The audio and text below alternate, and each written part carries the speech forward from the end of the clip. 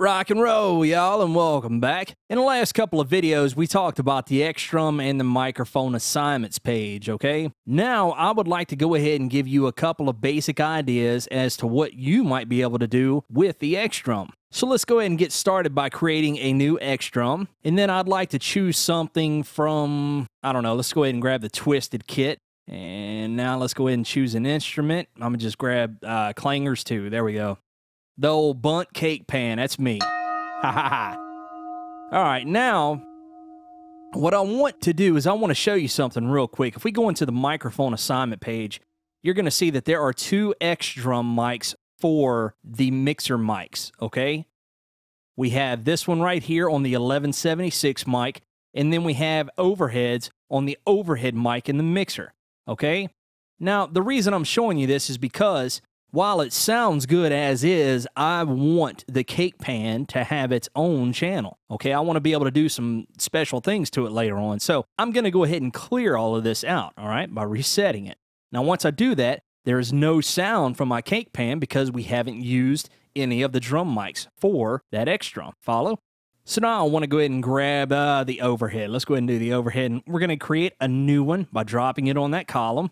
And there you go. We got X1-OH. So let's go ahead and press OK. And we sound good. Let's go ahead and check out the Easy Mixer real quick. And right down here, you'll see X1 overhead. Okay, and let's see. Yep, looking good. This way we can go ahead and pull it to the center if we want. Or I could put it all the way to the right. Just like that there. Okay, it's kind of up to me at this point. Now I'm good, right? Almost. I still need to go ahead and assign a key to it. You see, right now, there's nothing assigned, and I won't be able to play that instrument, and I want to be able to, you know, play with it. So, since we don't have a key assigned to the cake pan yet, there are a couple things we can do. We could go ahead and press the learn function right here, and then just press a key on the keyboard, or we could go ahead and do some MIDI mapping. And we'll get to that later on.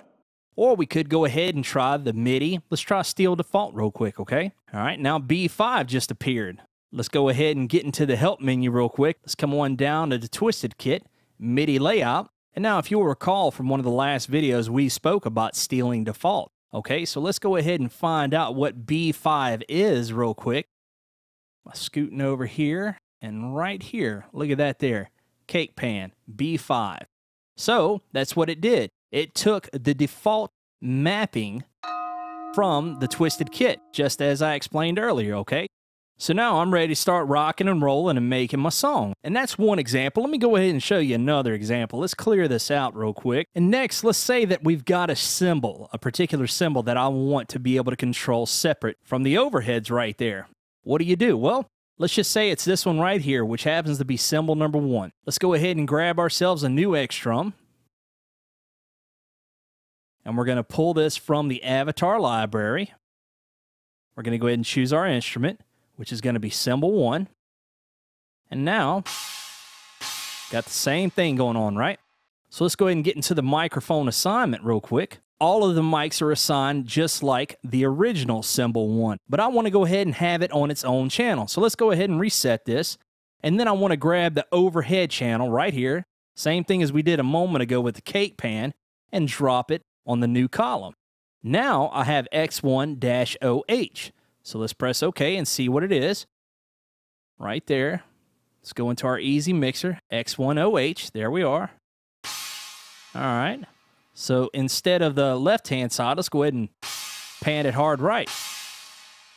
So now that we've got this one panned right like we want it, I no longer want to hear that coming in the left.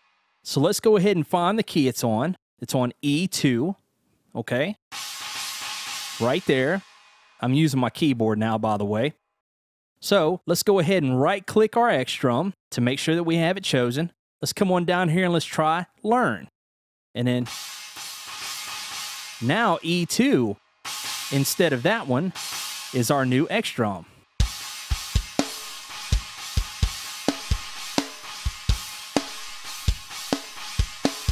Now, granted, I'm exaggerating the example, but I wanted you to get the point. Should you decide that there's something that you want to pan, you can. So that gives you a couple of ideas of what you can do with the X-Drum. Okay, now I want y'all to stick around because over the course of the next few videos, there's going to be some other uses of the X-Drum, okay? I appreciate you watching. Hope it helped you out.